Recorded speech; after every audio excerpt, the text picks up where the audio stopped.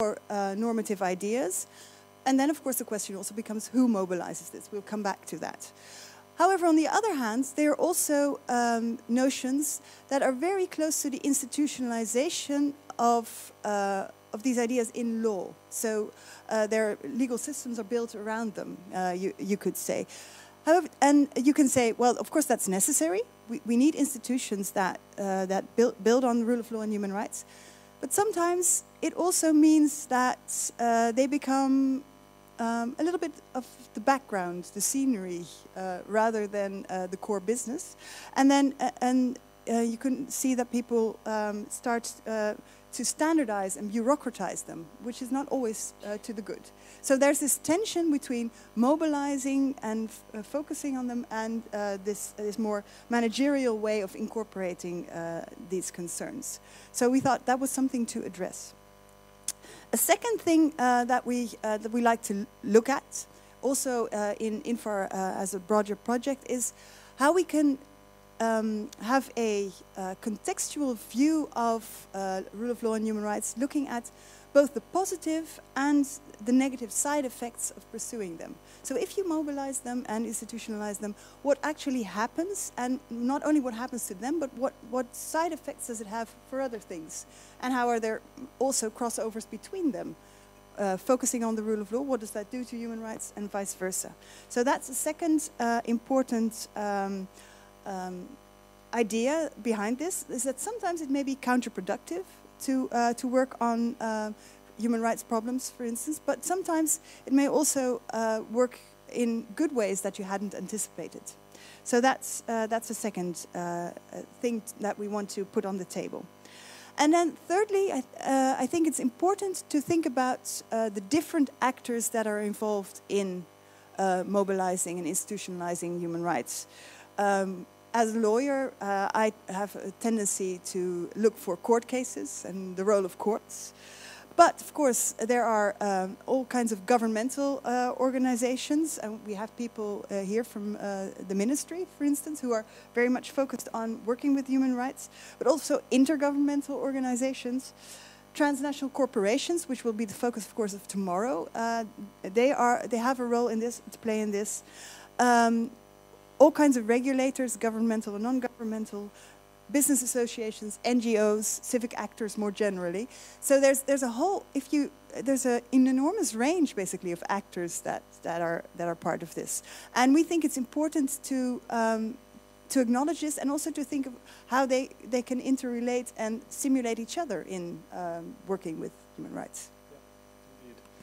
I mean, I'm based at the ISS, obviously, which is an interdisciplinary institute. Uh, we're economists, we're anthropologists, we're sociologists, and there's a couple of lawyers. And the first thing I learned in, uh, well, the first few weeks and months uh, that I was here at ISS is that there's a very strange relationship between law, or even the field of law and development studies, and development studies more, yeah, and, and development studies more broadly. And uh, it was a, an enriching experience, ultimately. Uh, it's, it's, led to me working together with uh, colleagues like Helen Hintjens, who's going to be here on the program, uh, with Wil Hout uh, on areas of teaching, respectfully, and research. Um, and we've now also sort of found each other working together on this paper, which you're going to be hearing about uh, later in this program. Um, so what, where Sanne and I also have met each other often is at conferences of the Law and Society Association. Also, Jonathan and Jackie are frequently at these meetings, and Kristin, yes, also. Well, maybe less, slightly less so, but this is another meeting place. These conferences are usually held close to, well, somewhere in North America. Occasionally they're held closer to home, as in Berlin, but generally speaking, they're held in that particular part of the world. Um, but there's also something called the Dutch Flemish Socio-Legal Studies Association, where we've also been quite active and been sharing these ideas.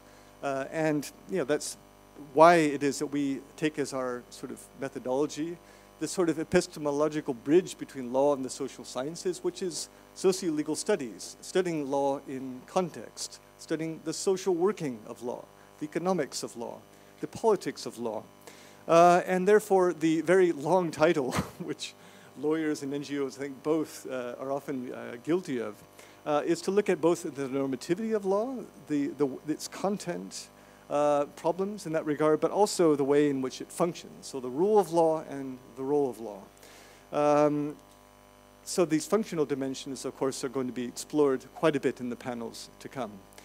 So the two thematic strands, the two themes that we focused on for this particular conference were, first of all, to focus on uh, the participation of persons who are affected by human rights practices, um, which also involves uh, looking at the role of government officials, uh, civic actors of many descriptions, businesswomen and men, uh, as well as migrants, uh, uh, people from the Roma, Sinti, and travelers community.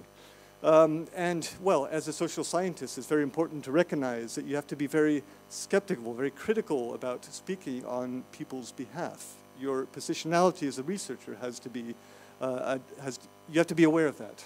And so that's something also which we within INFAR are looking at uh, critically. Um, and then the second main uh, theme uh, in which uh, these issues are addressed, uh, which is more the discussion taking place tomorrow, is how efforts to integrate human rights concerns uh, form parts of broader policies of change, uh, to pursue broader political, social, and economic goals, um, where human rights is a quite important dimension, um, according to some, and according to others, uh, as a core set of values. And so these, again, tension, well, it's a tension, but it's a very interesting uh, relationship. Some don't believe it's possible to look at normativity and functionality together. Uh, and we've been involving those skeptics in this discussion, in particular Jan Klabbers. Uh, and we've been involving uh, colleagues uh, who have a much, a somewhat more open approach to this, uh, such as Kim Lane Scheppele um, from Princeton University, who we're pleased to say is also now president of our Law and Society Association. So we intend more for more of these conversations to come. Um, and I think it's now time to sort of to introduce um, the four panels uh, of the conference. And actually, I would, would like to invite Kinnari and Nathanael to um, join us on, on the, this side because we de decided that you know having four panels and four co-organizers that we could do this together. Um, I'll stand up as well. That's. Um, um, and uh, we, we thought it would be good to have some well, visual material sort of to support our memories of what, what this is all about. Uh, unfortunately, this is uh, subtitled in, um, uh, in Dutch, but I will uh, translate uh, along uh, the way. This, the title means Our condolences and now go away. And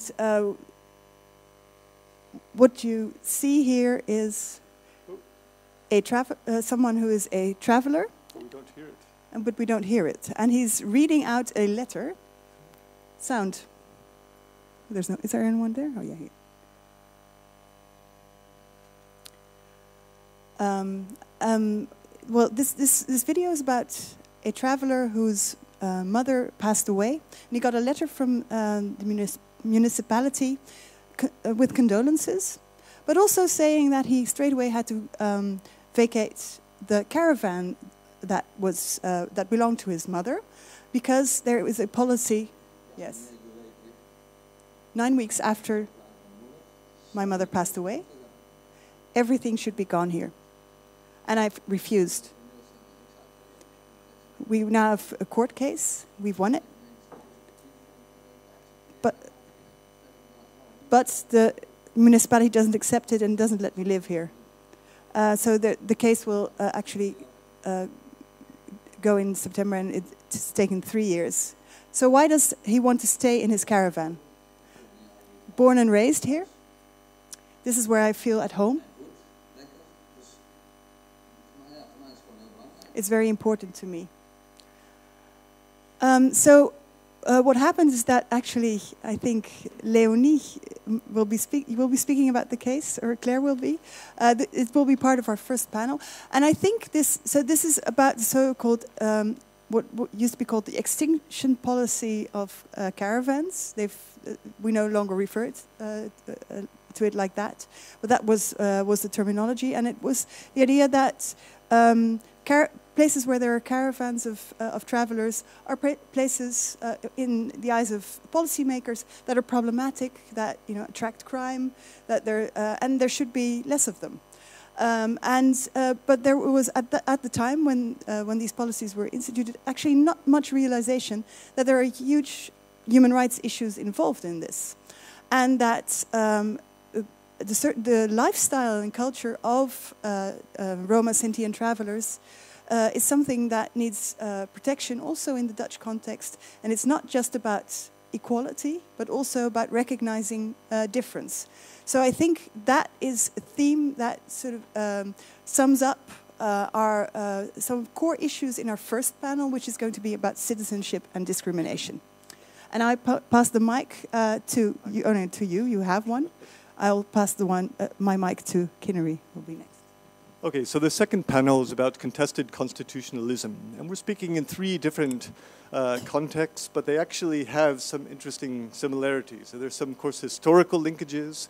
There are some legal similarities, and um, the illustration which we have here is actually, uh, well, as you can see, uh, protest action against the current president. Uh, this is a protest which took place last year in April.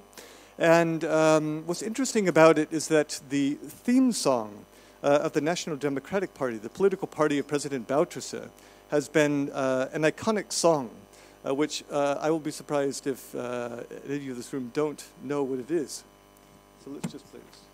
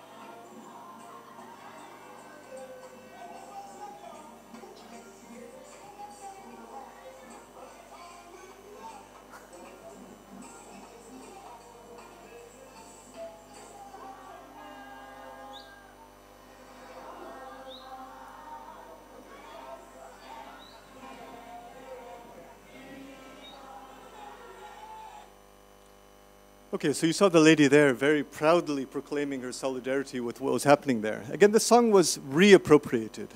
Uh, it was a song that's beloved by many people, including myself, I have to say. And uh, as you'll hear a bit later, I worked uh, as, a, as an advisor to the International Commission of Jurists, as a trial observer in the trial against President Bouterse. You'll hear about this a bit more later on in the program. And when this song came on the airwaves, uh, it sent shivers down the spines of journalists working in the country. And I was very curious about it because I thought, well, this song to me is a song of togetherness, it's a song of oneness, setting aside differences, national unity. Uh, despite the various economic and constitutional crises facing the country, the intention of Bouterse was to try to bring the people together. And it was for a particular kind of reason.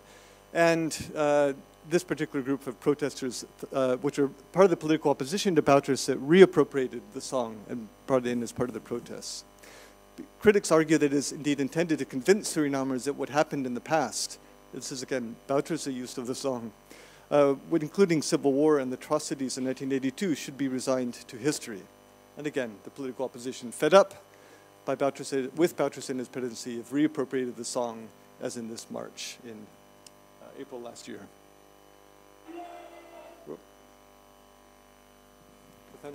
Oh, sorry. Yeah.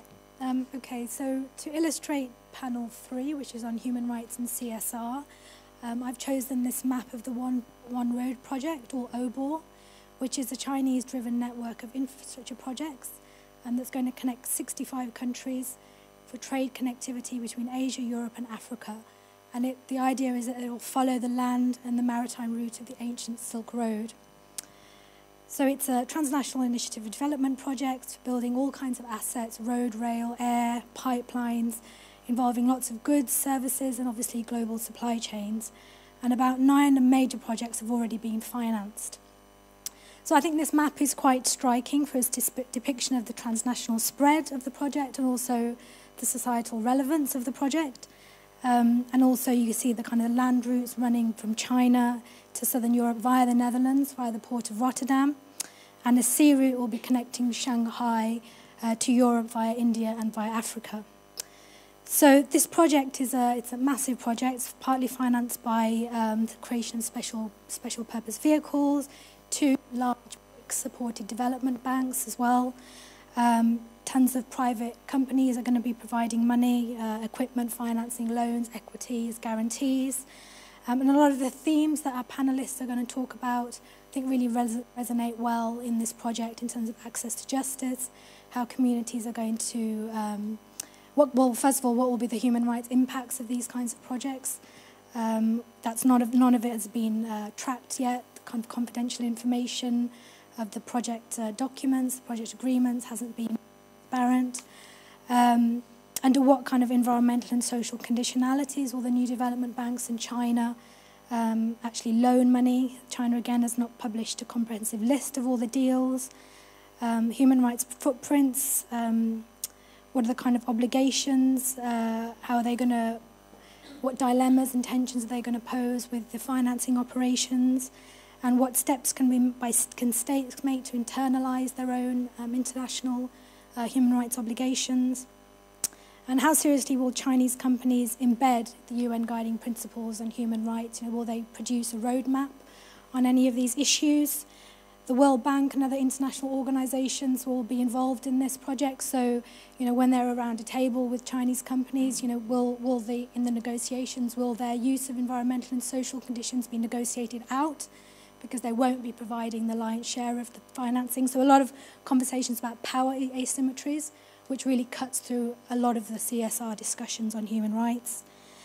Um, and without Chinese commission, uh, commitments to transparency and full disclosure of all the documents, how will NGOs keep crucial checks and balances on accountability of uh, human rights obligations?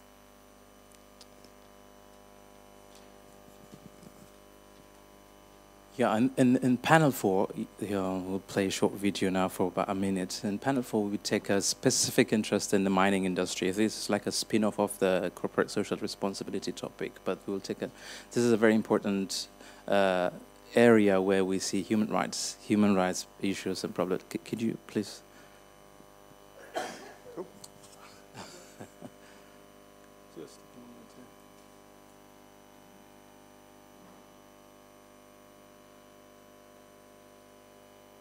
Uh, just uh, collapsed, sorry. Oh. Uh, even after checking everything, things are bound to break down at some stage.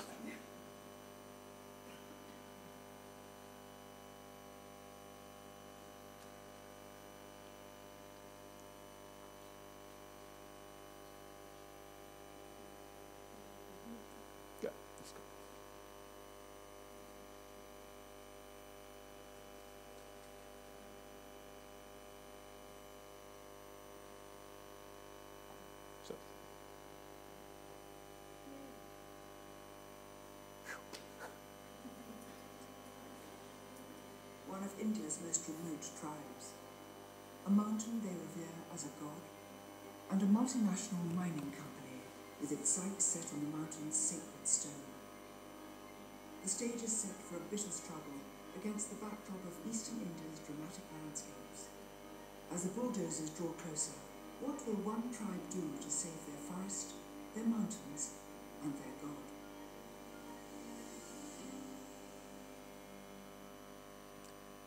Think that's it. There's a long video, interesting video if you might want to. See. I think we can all think of a few more mining related human rights controversies. I mean, uh, on the way here coming, I was checking my, my email and seeing this news story about my own country, Ethiopia, where a gold mining company came under severe protest and the government had to cancel its second renewal of uh, mining licenses. And the same as the, what happened here in this case, the Indian Supreme Court had to cancel the uh, mining permits from Vedanta, uh, uh, which is a mining, a huge mining company in India. There, I think I want to say two things that we're, we're interested in. Hopefully, we'll see from our panelists, but also from our discussants. First is how how do we see human rights actually play a role in protecting uh, soci social. Uh, environmental, individual human rights concerns in mining activities. I mean, what norms are utilized in what ways? Uh, So the details, uh, we- we've got, I think, some fantastic, even anthropological uh, research that we uh, we're going to hear from. So I'm interested in those type of questions. But how do you really utilize human rights concept in resisting um, such type of mining activities? But also, I'm interested in this is the second point in, in the critical type of questions. But what is also going on when we when we utilize human rights in resisting, for example, bad societal consequences in mining activities? For example, who does the who does the who, mobilization? Uh, In this particular case, Survival International, a UK-based an NGO, was very instrumental in print, uh, bringing the matter to the forefront of public attention, but also pushing through uh, legislative and judicial channels. So, are we having another rerun of you know Makau Mutua's uh, you know, saviors, savage, and victims scenario where we have strong external actors saving locals from uh, savage locals uh, or multinational co- corporations? Um, and and this idea, and this is my last point, I think somebody said to the effect of, I don't remember the exact quote, somebody said to the effect of, people in the business of radical change tend to forget that radical ideas, ideas soon become routines and institutionalized, and they themselves become orthodox that need to be challenged again. So this type of reflexive questions I, I wish to be addressed. I hope they would be addressed both by the speakers and also by the panel, uh, by the discussants on the panel on extractive industries. Okay, um, I think that we uh, only need to introduce our two final items on the program. Do we have a slide for the final one, actually? Uh, this, is, uh, this is the next one right here. Yeah, Yeah, we have one for the very final. yeah, yeah, okay. No, uh, because uh, tomorrow, after our uh, sort of su- substance panels, we're going to uh, take it at a slightly more abstract level and look at cross-cutting issues that ha- I think will come up in all four panels. And we've uh, termed, uh, we want to do this in, in the form of a roundtable. Uh, and we've uh, given it the title The Legal as Political Mobilizing Human Rights. Well, we've already explained why uh, that, um, um, that is our focus. And we really want to focus on what is the political value of using human rights. So not just you know as, as a- a standard legal way of, uh, of uh, going about things, but what's its politi- political meaning sp- specifically. And then our second question there is the, the actor focus, right? Uh, who is mobi- being mobilized and for what purposes? Um, and that actually, I think that taps into the last remarks that Nathanael ma- uh, made, that you really need to think about um, critically about who you're involving and uh, what that does to someone and what it does to yourself as well. Okay. Over to you. So um, this has indeed been something which we've been exploring within within INFAR uh, in various places, and it's indeed an extension of our coffee conversations. The very last uh, slide, which uh, concerns our rounding up, is going to be from our colleague uh, from South Africa, Jonathan Klaaren. Um, he is going to speak to a topic which really cuts across all these different themes and indeed case studies, uh, with uh, a keynote on new African perspectives on corporate criminal accountability. This will speak to, of course, questions of legal mobilization. It'll also speak to dilemmas in uh, realizing business, uh, uh, human rights within action activities of, of corporate business. It'll also address, I presume, because I know it's a theme you've been looking at a lot, state capture. Oh. it's not an invitation, but more or less an assumption that I, uh, that I make. Um, but again, uh, conversations that we've been having in different parts of the world. We're very happy that you joined us to this discussion here in The Hague uh, at our uh, INFAR conference. And well, we open up the conference. Thank you very much. Yeah.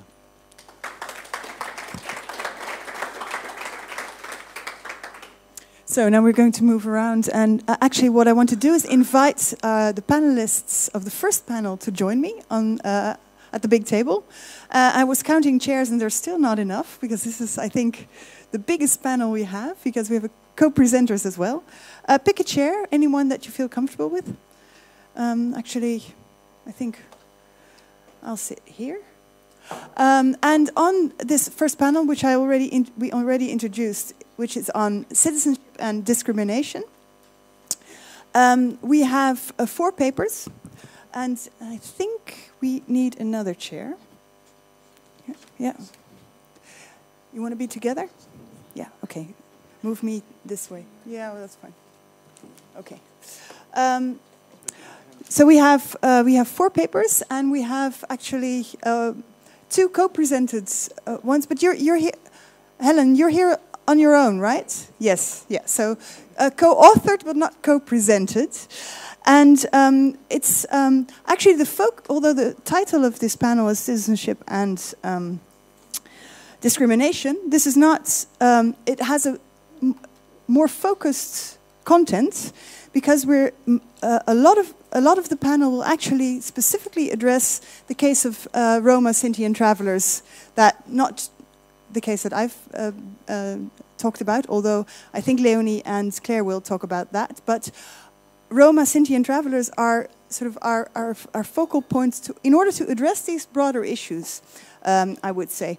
So what I would like to do is uh, to give the floor first to uh, Julia Sardelic. Uh, is that roughly? Oh, thank you. And she is um, uh, she works at the uh, Catholic University of Leuven. Um, and the title of her presentation is Invisible Edges of Citizenship, Readdressing the Position of Roma from a Global Perspective. And now, Julian, the question is, do you want to sit or stand? Because we have a... Um, yes, yeah. Yeah, that's fine. Please come over to... Uh, to yes, if you stand, then you, uh, you take the podium, right? Oh, oh, that's fine. And then you have the, the microphone there.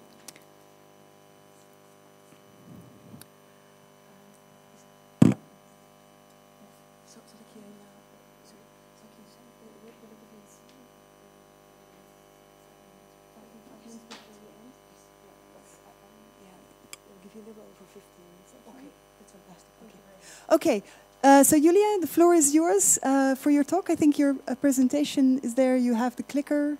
Yes, And um, you're good to go. Well, thank you very much. I hope I'm not breaking the panel too much because I'm standing, but I have this, I used to live in Italy and I have this, uh, uh, this uh, um, habit of talking with my hands, so I think it's a little bit easier to talk with the hands if you, you, you, do stand.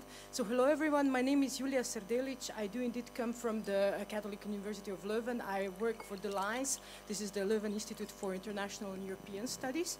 Thank you.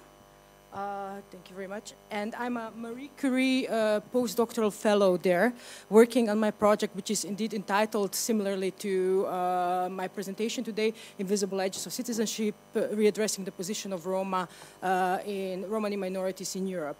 Uh, just to say something, because I think I'm a little bit an outsider. Ah, down, okay, thank you. So I, I, sometimes call myself an academic nomad because I held many different uh, positions over the years. So I, I, have a PhD in sociology, but I was also a research fellow at the School of Law at the University of Edinburgh and a Max Weber Fellow at the European University Institute in Florence. And I still hold the position of a, of a postdoctoral researcher at the School of Law and Social Justice at the University of Liverpool. I do, as it has been already discussed here. I am a, I have a PhD in sociology, but I do socio-legal research on broader research uh, uh, topics uh, such as citizenship and migration, but particularly focus on the uh, on the, the, marginalized minorities and uh, and forced migrants. Uh, and the other strand of research, as you see here, is also the politics of diversity after the 2015-16 refugee crisis. Uh, what I'm going to talk about uh, in today's presentation is actually uh, a synopsis of uh, uh, my book uh, manuscript, which I'm working on at the moment, because this is a work in progress. All the all the suggestions and comments on how to improve this are really more than welcome and really, really highly appreciated. So when we discuss Roma, for example, also like uh, we take like very, very, uh, for example, certain like documents from Council of Europe, we see that uh, Roma referred to as to uh, Europeans, European minority par excellence. Uh, in multicultural citizenship, uh, uh, they're discussed as a hard case because they, not, they do not really fit um, basically the description definition of a national minorities or uh, indigenous people uh, and not immigrants either. And in public policy, it's, they're many times discussed as an isolated case. but my claim is that we need to turn the focus of the debate. Uh, as uh, Jeff pointed in the beginning, uh, the positionality of researchers is very, very important. So I'm not here to speak on behalf of Roma. However, what I'm looking at is how the position of Roma is formed as such in the society. And I do claim that we need to like somehow turn the perspective and look at something what I call invisible edges of citizenship, which I claim exists globally. And uh, these are like certain mechanisms that uh, put also other marginalized minorities uh, in a similar position as Roma. What I do in my research is a socio-legal analysis of citizenship and minority acts and also court cases and so on, which I'll talk about a little bit later. Uh, down or? Yeah, I'm pressing down, doesn't, ah, okay.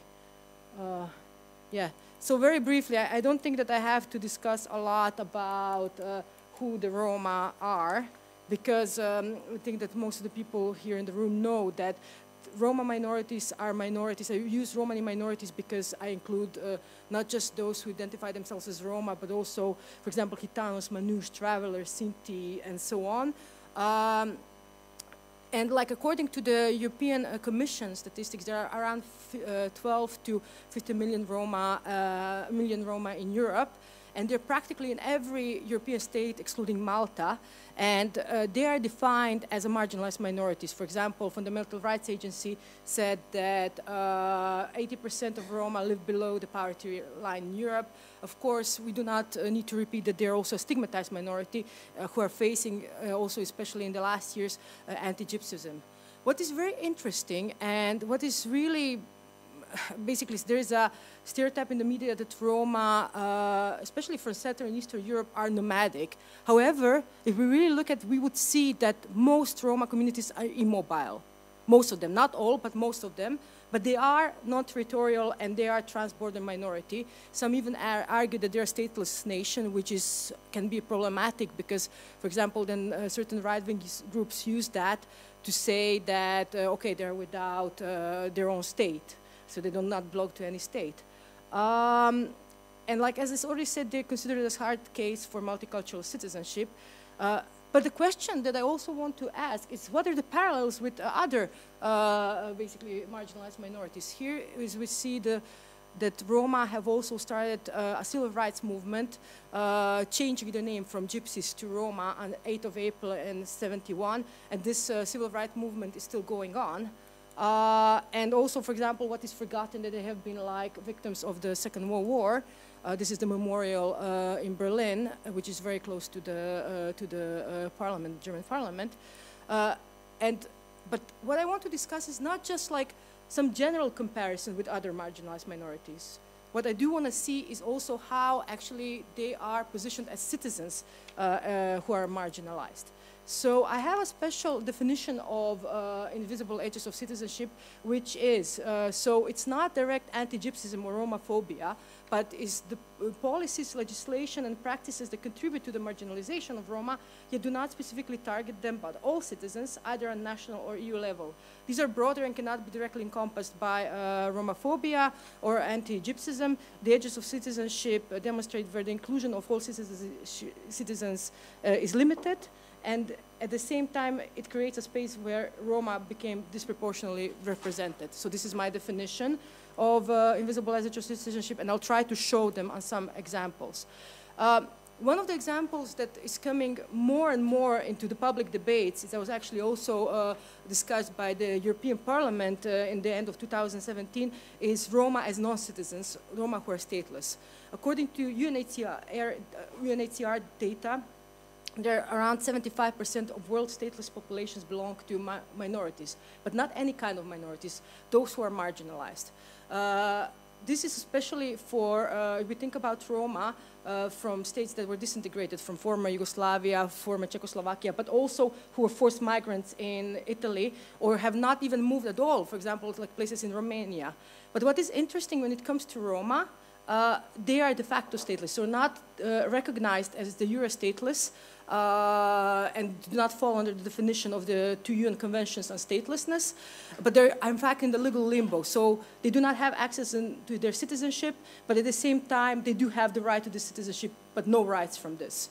Uh, at the moment, there is a court case at the European Court of Human Rights, uh, Hassani versus the former Yugoslav uh, Republic of Macedonia, where actually, although she was uh, de facto stateless, the court started uh, referring to her as a stateless person, which is really, really interesting uh, turn because up until now, it was usually, they were not considered to be stateless, but just looking at different human rights violations. The other thing that is really discussed a lot is the EU freedom of movement, which is like one of the, according to the Directive 2004-38 EC, is one of the main rights of all EU citizens. Uh, as long as, as the directive says they do not become an unreasonable burden. And there was a court case that I know that everybody in the room knows, uh, Elisabetta Dano and Florian Dano uh, versus the Job Center Leipzig. And this court case is really, really interesting because um, it does not mention that it's about Roma anywhere, and it was basically about, uh, uh, then used about these debates in welfare tourism and so on. However, what was interesting that the media uh, did pick up that uh, it was mostly like later on the debates were dealing with the position of Roma. And for example, two Euractiv articles that were discussing uh, welfare tourism they did not mention Roma as well, but did uh, actually produce very stereotypical uh, images of Roma. For example, Roma panhandler in Sweden. I don't know if you can see that on this picture. The, the below is Roma panhandler in Sweden. Um, what is also interesting is also it's uh, a little bit less discussed, but in, uh, it came to light also during the uh, refugee crisis. This is the debate on so-called bogus asylum seekers, bogus asylum seekers in, uh, of course, uh, uh, inverted commas. here I showed some data about how many asylum seekers applied for asylum in Germany after there has been visa liberalization happened in most of the Western um, Western Balkan countries. And what was very interesting that most of these people, I don't know if you can see on the graph, oh, it's very bad, unfortunately, identified themselves as Roma. And the European Parliament uh, sent a message to Serbia and Macedonia that they will actually uh, uh, limit the visa-free uh, regime for uh, the Schengen countries, for these two countries, if uh, um, the number of asylum seekers keeps on growing. What happened in return was that, for example, Macedonia started doing uh, border profiling and uh, basically started um, on the basis of skin color and where people lived, started not allowing people to cross border in Macedonia uh, if they were decided it was Roma and if they were potential asylum seekers. And they even put, like, you can see the photo, uh, a stamp which says AZ, so that if they wanted to leave in the future, they wouldn't, wouldn't be able to. There was also a case at the Constitutional uh, Court uh, in Macedonia, and of course it was uh, decided there was the racial discrimination. Uh, another thing that is very interesting uh, was when there was a number of asylum seekers from countries like Hungary seeking asylum in Canada. That was that happened after uh, there was a case of uh, Roma being killed by the right-wing groups uh, in Hungary, uh, which uh, then there was a court case where these people got um, actually the life sentence for this. But there was actually a proof for these people that they can, they had the basis to seek asylum, and many of them did get asylum. However, they found themselves again into this uh, poli politicized juggling. If you recognize some country as, uh, as a new country, as an unsafe country for uh, their citizens, so it's really, really interesting juggling where the Roma, uh, Roma found themselves in.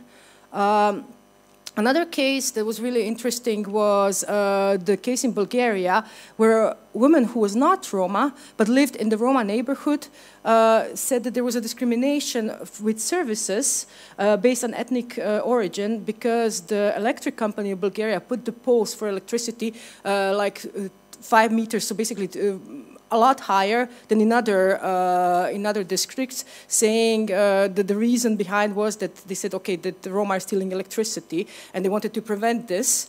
Uh, but basically, the court decided that that was actually uh, not an equal uh, treatment. Um, Another case was the uh, school segregation case, uh, Oršuš and others uh, versus Croatia. And this is the photo of one of the, um, one of the classes in Croatia. Uh, so it's a Roma-only class. Uh, I did, when I was uh, doing my PhD, I collected these photos. And uh, was really interesting that that was the crucial moment there was that Croatia was an EU country and Roma were just EU citizens to become. And uh, activists wanted to use this moment to say, okay, we will now uh, try to use this and use this court case that it comes to EU conditionality that uh, uh, segregated classes must be abolished. However, Croatia became an EU member state when it wrote also into the national strategy on Roma inclusion that they will abolish Roma-only classes by 2020. These classes still exist up, up until the present day. Uh, so, I mean, some of the parallels with other marginalized minorities are very, very obvious. Some less so, but I think I will try to like raise them in uh, in uh, the book I'm in the manuscript that I'm currently writing. For example, okay, I'm showing here uh, the desegregation process in the U.S. and here's an article about desegregation of Roma classes, where, for example, journalists said that uh, desegregation is uh, not a problem. But what is a problem that is that we have she called this uh, Roma terror. So basically, that Roma are the ones who are terrorizing the majority population. So there was a big, big uh, backlash against uh, uh desegregation in, uh, of Roma classes, for example, like in places like uh, Croatia. And also, like the teachers themselves said, okay, we do not know what to do. We have the white flight, basically, majority parents are leaving the schools and so on. But it's really interesting that there are very, very clear parallels here. Um, what is actually less clear, but I think it's very, very important, uh, when I was doing some research in Australia, I was able to see that actually the indigenous Australians are treated in a very, very similar way as Roma are in many countries. That is like actually as semi-citizens or se second-class citizens. And it's also interesting to see uh, how they're treated like this. And one of the questions, okay, that is constantly raised is, uh, connected to territory, and also here the question of mining actually comes in. Um, but how does this connect to uh, Roma? Roma are usually considered to be uh, nomadic, but at the same time, I think this will be discussed more. They're also considered as the ones that can be moved from the territory, relocated from the ter territory a lot easier than, uh, than for example, uh, somebody who is of a majority population. And here the question of territory comes in, and the question of why a Roma usually uh, considered as a non-territorial minority, and what consequences this has uh, also when we consider them like this, so as if they're not connected to the territory, which is really problematic. Uh, and if we see, for example, indigenous rights, there is a different story going that, okay, indigenous people are connected to the territory. However, at the same time, the governments, different governments do take this uh, uh, different justifications to get involved into their territory on different bases. That happened, uh, uh, for example, uh, in, when it came to certain mining questions in Australia another question where I think that is really important, I mentioned in the beginning, the UNHCR shows that um, most Islamic people are uh, basically belonging to different marginalized minorities. Uh, it's interesting how they become, uh, in the first place, marginalized, discriminated, and how that feeds into statelessness. And here's another like global parallel when it comes to Roma. Uh, so Rohingya uh, refugees were stateless, uh, became stateless after they were like marginalized and discriminated against. But then uh, citizenship laws that were introduced uh, showed that like they were like categorized as illegal uh, immigrants. For example, when we take uh, Roma in places like Montenegro, due to very complex reasons, uh, the ones who fled because of the war in Kosovo, they're also constantly being um, in this position that they will be defined as illegal immigrants. Um, I'll just talk very quickly about my preliminary conclusions that uh, I believe that the invisible agents of citizenship is a special conundrum for citizenship theory. So where citizenship should be inclusive for all, also minorities that have been in certain territory uh, for a longer time, it excludes marginalized minorities. And that's not just Roma, but that happens in many, many cases around the globe. It happens on the uh, status dimension and rights dimension, but also belonging dimension. And the question should not be only simply if Roma fit or not. This is a question of uh, actually based on cultural racism, but uh, we need to see how these uh, uh, edges of citizenship are occurring and how can we prevent them so that uh, citizenship is truly inclusive for all. For all. Uh, what I believe in this case is that the citizenship itself needs to be reconceptualized so that it will be truly inclusive for all. Thank you very much, and all the comments, questions are more than welcome. Thank you.